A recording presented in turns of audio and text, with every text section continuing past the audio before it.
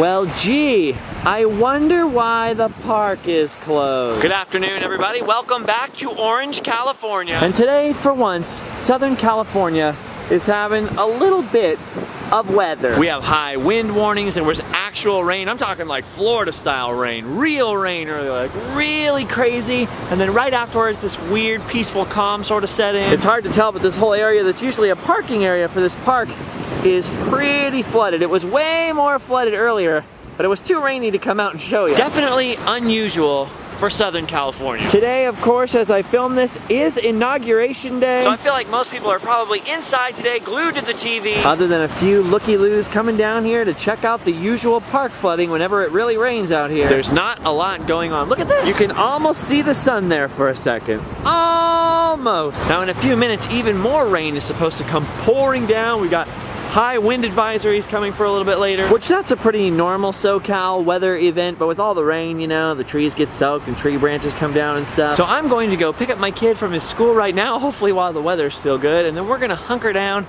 at home, have a nice time, spend a little family time around the old TV. Maybe come back and take some fun pics like they're doing over here by the water. Like, whoop. And then probably go home and sleep well. Kind of a bummer because my plans today were called due to inclement weather. Ah, but never fear, yesterday while I was in LA, I filmed more than could actually fit in yesterday's video. So I actually have a little bonus footage for you guys entitled The Mystery of Life. I hope you enjoy. See you in a little bit. Wow, listen to that.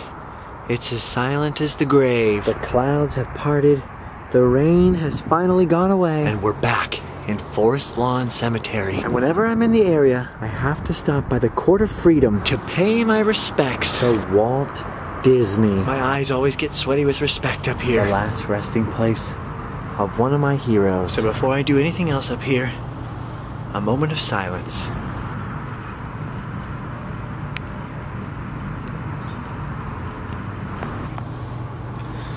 Okay. of course, there's much more stuff up here than just graves. This place is kind of weird. It's almost like a museum. Like this plaque says, this right here is the Liberty Chain. this is an actual part of the chain stretched across the Hudson River. to prevent the British from cutting American forces in two in 1776. And supposedly, this is the best statuary likeness of George Washington in existence. history right here in the cemetery. Dude, this is a huge chain. Almost as big as my chain wallet in the 90s. That is so crazy, man. This chain was stretched across the Hudson in 1770 freaking six. I mean, that's well over 200 years ago now. that is pretty amazing. And there's some more amazing stuff right up here. now we've had some Leonardo da Vinci on this channel. Matter of fact, we visited the Mona Lisa more than once on this channel. But up until this moment, we've never had any Michelangelo. now, believe me, as soon as possible, we're gonna have the Sistine Chapel right here. This is a classy show. but until then, we'll have to make do with this. Feast your eyes on Michelangelo's David. From everything I've read, this is a perfect copy of the statue of David. Done, of course, by that famous artist, Michelangelo. Not the Ninja Turtle, you know, the painter. It is, of course, David from the story of David and Goliath, you know. the Old Testament King David when he was young. Michelangelo sculpted David out of a single piece of marble, I believe. in the 1500s. No 3D printers, no computer software to help. Just some chisels, some hammers, and some imagination. and here at Forest Lawn, a massive David replica. Everyone, of course, is familiar with the image of the statue of David, but I had no idea that it was that big. I mean, look at the size of those paws right there. These are some awfully big shoes to fill. Seriously, would you look at the size of this guy? He's huge. Now, I didn't intend to learn a lot about Michelangelo's David today. Or as other people call him, Michelangelo, you know, to be a little more, a little more hoity-toity. According to this over here, Michelangelo carved David when he was 26 years old. It says he carved it out of a block that a hundred years earlier had been thrown away. Because people said it was too skinny, too narrow to cut a figure out of, so everybody thought he was crazy when he picked this piece of marble. 16 feet 9 inches. And 10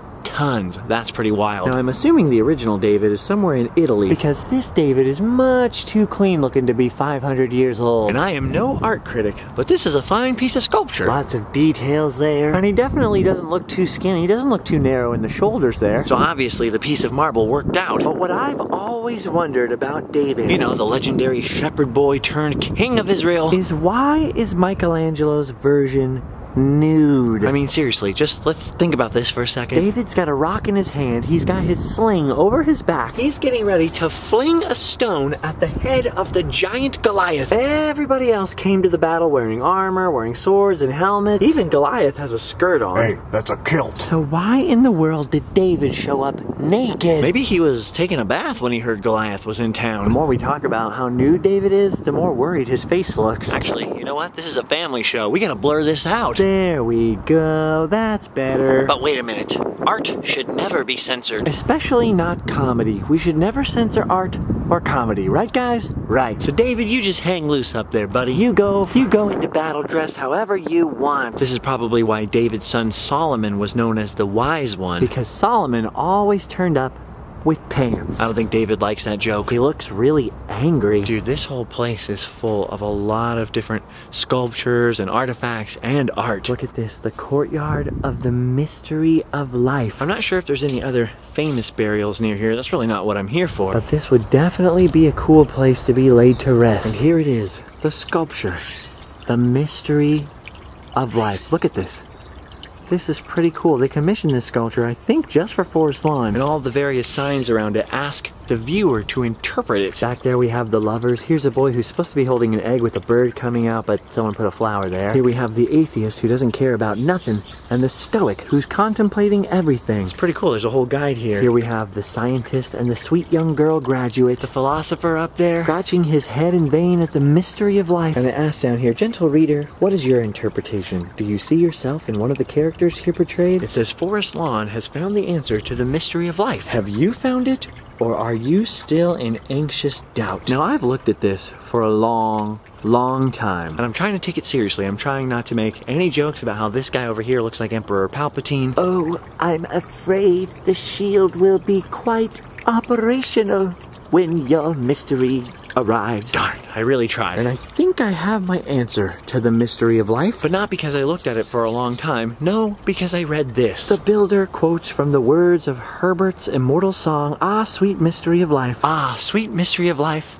At last I found thee. At last I know the secret of it all. Tis love and love alone that the world is seeking, for it's love and love alone that can repay. Tis the answer, tis the end in all of living. For it is love alone that rules for aye. Hmm. I like it. Especially when you're surrounded by all this memory of death. It's nice to think that all of this, all this life here, wasn't in vain. because they all loved someone, or were loved by someone. Or made the world a better place to love in. It's nice to think that no matter which character we are, no matter which walk of life we come from, we're all part of something a little bigger than ourselves. Something a little more permanent than flesh and blood. And love, love is immortal. That's a beautiful thing. This statue's kind of making me, I'm not even kidding, it's making me a little emotional. All right, since I don't have a special golden key to get into these secret private gardens. Maybe for now, it's best if we move along. But guys, don't tell anyone the secret to the mystery of life.